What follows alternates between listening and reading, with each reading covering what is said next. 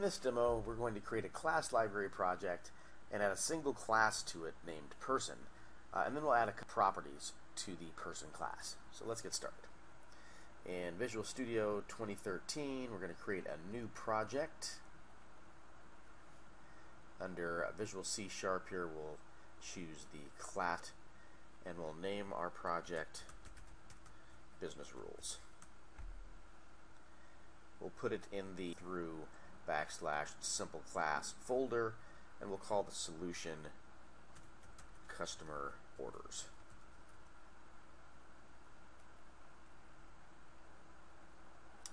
That creates a class library project with a single class called class 1.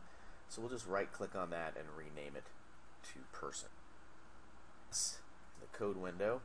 And now we can open to add a property. So in the class diagram we'll right click on the person class and choose add property and we'll add a new property called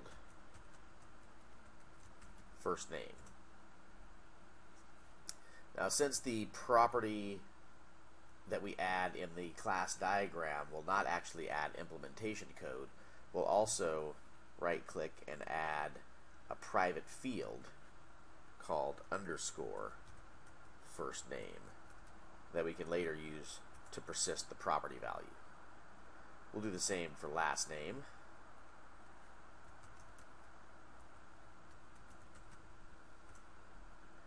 And then we'll add the private field for last name.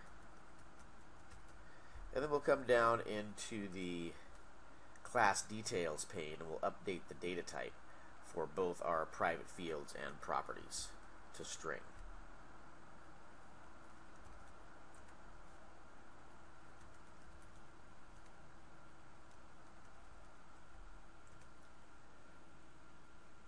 Save our changes. And now if we go take a look at our class, you can see that we have our oops, two private fields, first name and last name, as well as our property procedures for first name and last name that throw a not implemented exception uh, that we can use later on for test-driven development.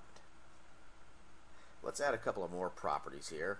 We'll add the city and state properties by using the prop full code snippet. Press tab twice and then we'll change the data type to string tab over the private field city and tab to add the city property name. We'll do the same down below for state. Just underscore state. Capital state. And then we'll use the prop code snippet to add a an abbreviated version of a property that doesn't give us a private field that we can access in our code. We'll use zip code here.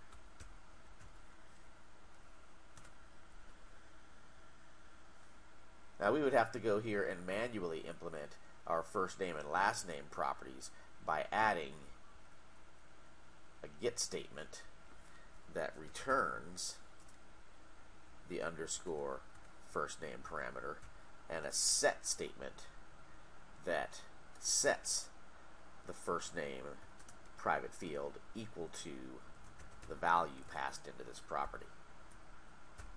A little bit of extra work there, so I actually prefer the prop full method.